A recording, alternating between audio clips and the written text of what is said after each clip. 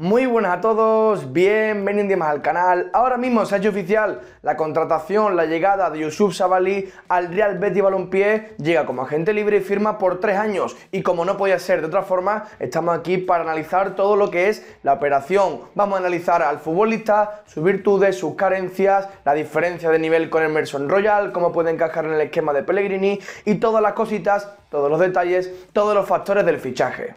Antes de comenzar, me gustaría comentaros que honestamente a mí no me da la vida para poder seguir la Liga al Girondins de Burdeos, faltaría más. Por tanto, ¿en qué está basado este análisis? Pues bueno, este fin de semana, de estos últimos 3-4 días, he visto partidos de esta temporada, he visto algunos vídeos sueltos, he leído bastantes artículos acerca del futbolista senegalés y en esto está basado este análisis. Por si alguno me deja preguntar si sigo la Liga Francesa, la respuesta lógicamente no, pero he tenido tiempo en estos 3-4 días desde que parecía que se iba a hacer oficial para analizar y para poder descubrir al futbolista senegalés que llega al Real Betis Balompié. Así que ahora sí, sin más preludios, comenzamos.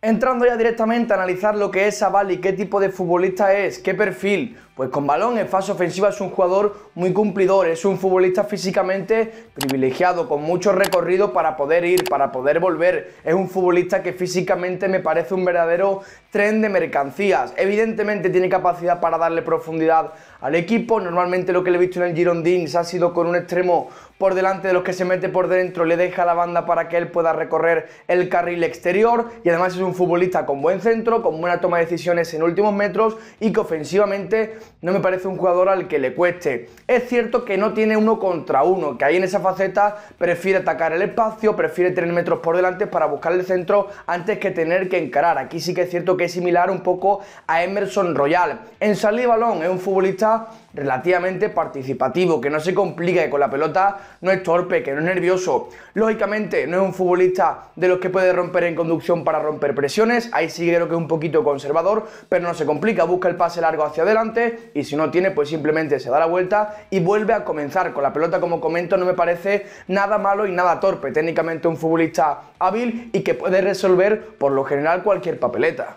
Quizá el único puntito débil o el único puntito que no le he podido ver en fase ofensiva es en ataque posicional, en espacios reducidos. Con el Betis va a estar mucho tiempo viviendo arriba, mucho tiempo en posición de extremo y tendremos que verla ahí. El Girondins, después lo comentaremos, es un equipo bastante más directo, bastante más de transiciones rápidas, que es cierto que tiene la pelota, pero que sí que es más directo y que busca el centro con más asiduidad. Y el Betis es un equipo de más ataque posicional, un ritmo más lento y ahí veremos cómo puede adaptarse. Pero aún así creo que, como he comentado, con la pelota es hábil, normalmente cumple, no tiende a complicarse y además arriba yo creo que tiene un buen centro y una buena toma de decisiones, por lo general. Arriba es cierto que no es tan participativo, que no tiene tantísimo protagonismo, pero atrás sí que me parece un futbolista mucho mejor, o por lo menos que te puede dar más a nivel competitivo. Principalmente porque tiene un tren inferior muy potente. Esto en el uno contra uno le permite ser muy sólido. Es un jugador muy potente, muy fuerte en el duelo, muy contundente. Que evidentemente físicamente es muy fuerte, como comento, y esto le da para aguantar grandes carreras, para lanzar presiones. Es un jugador que está acostumbrado a eso de ir a presionar porque el Girondins también un equipo que busca en muchos momentos la presión alta. Y además luego, tácticamente, me parece un jugador que es inteligente, que cumple, que decide bien cuando cerrar, que por arriba no va para nada mal y que físicamente le da para poder corregir su posición en cualquier momento. Es un futbolista muy competitivo, que en el duelo, como comento, es muy solvente y que además físicamente es realmente fuerte. Por tanto, creo que atrás le puede dar al Betis un puntito de solidez muy interesante. También es cierto que la Liga Española tiene arriba puntitos de calidad diferenciales respecto a la Liga, pero por lo que le he visto es un lateral que no tiende a complicarse y que además suele cumplir bastante bien atrás en todas las facetas, en centros laterales, en uno contra uno, defendiendo su espalda, creo que se defiende realmente bien, además porque físicamente le da para ello. Y antes de meternos en el encaje Betis, en el equipo de Manuel Pellegrini y su relación del senegalés con él también comentar que es ambidiestro y esto es muy bueno, esto es muy positivo por cualquier lesión, por temas rotaciones, para cualquier apaño, para cualquier partido concreto. Ha jugado muchos partidos como lateral izquierdo, tiene un muy buen manejo de ambas piernas y esto le viene bien para todo, para centrar con su zurda, para salir con la pelota, para poder perfilarse en cualquiera de los dos costados. Es algo muy a tener en cuenta.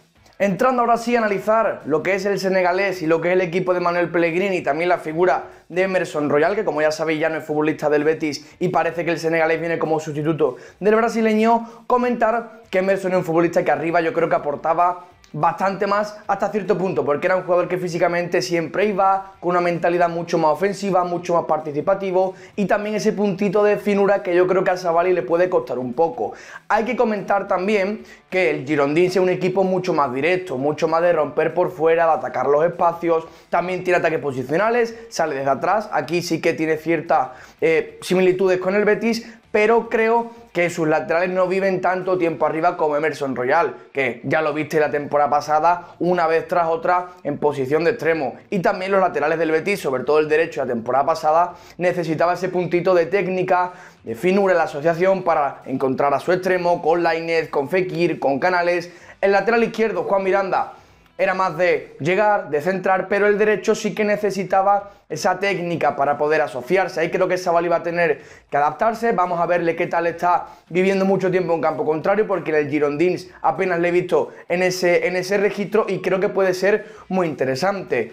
Yo creo que va a disfrutar mucho más cuando tenga espacios por delante, cuando pueda desdoblar al extremo y pueda centrar con metros por delante, como estoy comentando, pero también hay que verle en ataque posicional y en espacios reducidos qué tal se le da. También es cierto que tiene una buena aceleración para poder romper al espacio, para atacar la profundidad y también puede ser interesante para desahogar un poquito los ataques posicionales. También hay que entender la oportunidad de mercado, un futbolista que llega libre, con mucho eh, tiempo en la élite, también después lo comentaremos, y que Emerson Royal es uno de los laterales, en mi opinión, con más proyección de toda Europa. Es un poquito injusto, entre comillas, compararle con el lateral que venga ahora, en este caso Sabalí, porque Emerson es un futbolista de un nivel muy alto y que tiene una proyección quizás de las más interesantes de toda Europa. Por lo tanto, ahí queda. Sabalí es un jugador muy competitivo, muy cumplidor, pero que arriba no tiene todo lo que Emerson Royal tenía, en gran parte porque el brasileño es un futbolista de un nivel mucho más alto, evidentemente. En esto de los fichajes hay que tener muchísimas cosas en cuenta, el perfil del futbolista, su nivel, ciertos registros, en qué es bueno, en qué le cuesta un poquito más, también encajarlo en el equipo de Manuel Pellegrini, es muy complejo todo. Pero también hay que comentar los mínimos detalles y este año el Girondins ha tenido una de sus mayores crisis económicas. No la voy a contar ahora mismo entera porque el vídeo no va sobre el Girondins de Burdeos, pero también hay que tenerlo en cuenta que el vestuario ha tenido también muchos problemas, muchos conflictos y hay que entender el contexto del que viene Yusuf Sabali y por qué quizá no ha podido dar un rendimiento mayor hay que tenerlo en cuenta, que viene de un equipo que ha estado, como comento, en crisis, problemas en el vestuario, muy cerca del descenso en algunos momentos, partidos muy malos y viene un contexto totalmente diferente. Europa League, el Betis, que es un equipo por lo general pues con un ambiente muy alegre en las gradas, con Manuel Pellegrini, un vestuario unido, un proyecto muy interesante y esto pues lógicamente hace pensar en positivo, que cualquier futbolista que vaya a venir y hasta cierto punto ponga de su parte para adaptarse va a dar un rendimiento muy alto porque está rodeado además de futbolistas de un mayor nivel de los que estaban en el Girondín de Burdeos. El Betis es un equipo bastante mejor y va a estar rodeado de jugadores de un nivel mucho más alto. Por tanto yo sí que confío en que pueda dar un buen nivel aquí. Repasando un poquito el historial del bueno de Yusuf Sabali, es canterano del Paris Saint Germain, estuvo cedido en el Nantes antes de ir al Girondin de Burdeos, donde ha disputado 154 partidos y a nivel internacional es campeón del mundo sub-20 con Francia y a día de hoy internacional con Senegal, donde ha disputado una Copa de África y un Mundial. Es un jugador que hace un par de años tenía una proyección mucho mayor, estuvo muy cerca de fichar por el Nápoles, pero una lesión en la rodilla truncó este, este traspaso. Evidentemente esto le ha hecho cambiar como futbolista, algo parecido a lo de Nabil Fekir, ya no es un jugador tan rápido que arriba sea un torbellino, pero sí que de piernas es mucho más fuerte, un tren inferior muy potente y por tanto le ha hecho ser un jugador bastante más, hasta cierto punto, competitivo atrás y un perfil de futbolista realmente diferente. Ahora arriba no produce tanto, no participa tanto, ni es tan rápido, pero atrás sí que es mucho más sólido, mucho más contundente y mucho más solvente al duelo.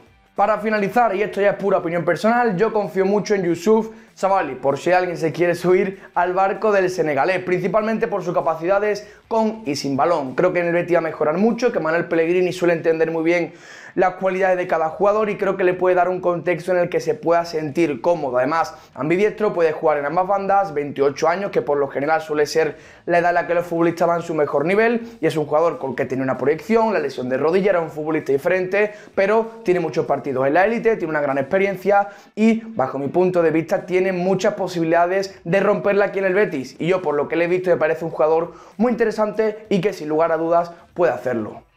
Hasta aquí el vídeo de hoy, estos vídeos de fichajes son muy complejos, ¿eh? porque de un futbolista que yo honestamente desconocía, un jugador que viene de una liga que yo apenas puedo seguir y ahora pues claro, tener que ver partidos repetidos, tener que conocerle como jugador, de qué país viene, en qué contexto ha estado durante la temporada, cómo juega su equipo, cómo puede encajar es todo muy rocambolesco, pero evidentemente aquí estaremos para intentar pues, conocer a los futbolistas que vayan viniendo esta temporada del Real Betis Balompié, que poca pinta tienen de ser de la Liga Española. Así que, pues nada, más trabajo para mí, pero yo encantado. Hasta aquí el vídeo de hoy. Como siempre os digo, dejad un like si os ha gustado, suscribiros si no lo estáis y nos vemos en la próxima.